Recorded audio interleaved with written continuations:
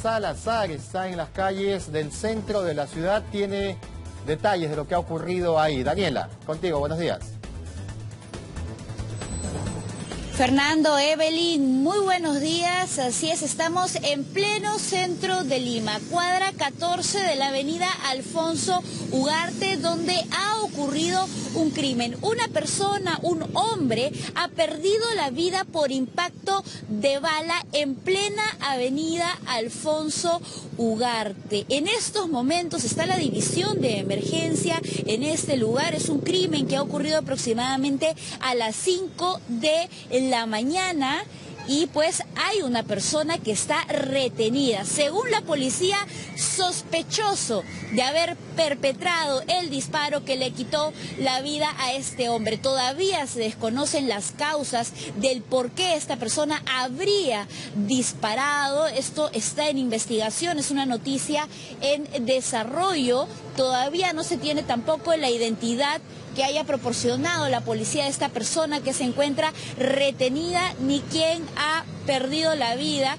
Sin embargo, pues están a la espera de la llegada del Ministerio Público, de los peritos de criminalística y es importante resaltar la ubicación, Fernando, Evelyn, amigos televidentes, porque estamos en pleno cruce de la avenida España con Alfonso Ugarte a pocos metros de la estación del Metropolitano, de la estación España, que ya a las 5, 5 y media de la mañana ya está funcionando y muy cerca a la sede de la comisaría de Alfonso Ugarte, de la Dirincri y de la prefectura. Una zona con gran cantidad de efectivos policiales, como lo podemos ver justamente en imágenes, quienes están aquí reunidos viendo y verificando las investigaciones que se están llevando a cabo. Como pueden ver, hay una persona que está detenida adentro de este vehículo.